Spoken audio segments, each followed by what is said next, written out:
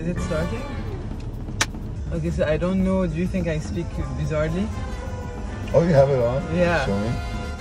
Actually, it doesn't show. You don't have space here. It's really hard. It's so painful. You don't understand. I spent the night looking at up. So, I mean, honestly, in my field, especially, like, you know, in the world of high-end design and high net worth individual, networks are the key. One time you said, you know, why didn't you start, you know, in Paris?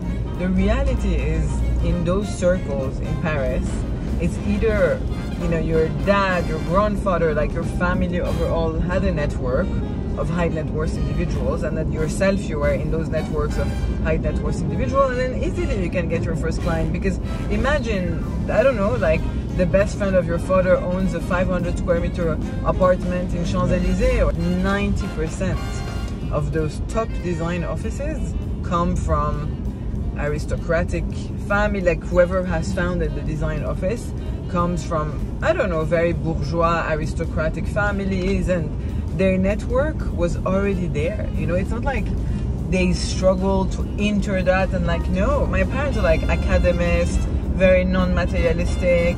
Like, you know, I graduated from one of the top schools in Paris, yes, but even in my school, there was two, three people that was obviously were coming from like you know, very wealthy families, industrial families, and they knew everybody in Paris. So for them, it was like, yep, I'm gonna graduate and I'm gonna It's have my up. first client. I did manage to penetrate, I feel, the very high net worth individuals in Saudi, industrial families.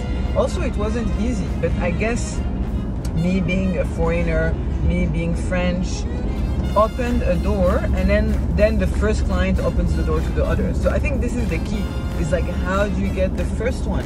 But even so you know like i just feel the power of network is just everything. What bothers me like even in the middle east i should be going to all the parties and all the awards and but i hated that like for me because it's so not genuine But then what do you do about it? I hate it too. Like I uh, really hate it, and I can't force myself to be honest. I don't want to waste my time not being authentic in my work. Do you And take it personal? no, I just think it's unfair because this is when you realize that skills, Okay. See, not that skills do not matter, but network matters more than skills. Like you know, there's so many talented people on this planet, but they don't necessarily have the network. My strength is I know how to talk, I know how to convince people. This is what I was telling the girls, you know, I was like, introduce me to a lead, I will convert that lead into Yeah. into a You just client, need you that. know? But yeah, so this is this is the power of network. As I said, like, you know, when you actually dig into who made it and how they've made it, is just because very often they were tightly bound to somebody who was able to push either by birth, you know, either by marriage, either somehow in the very beginning of their career, you know, like Marry uh, well. this is Get what Maud said. Like daddy. Nina, forget it. Just go marry like you know somebody in finance that's a multi-billionaire, and then that's it. You know, Trust like me, she's giving you the only advice you need. In this word of like extra extra luxury. You know, like I remember very well a couple of even up to date. You know, I told you so many times. I enter a place with like ripped jeans. I don't care. This is people. This is how they judge. You saw it yourself the past three days. People come to you. I'm like, who is this homeless? You know, like.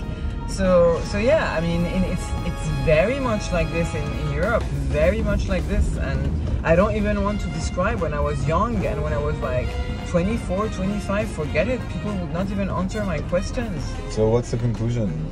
You're gonna get yourself a sugar daddy, or are we gonna No. keep this company happening?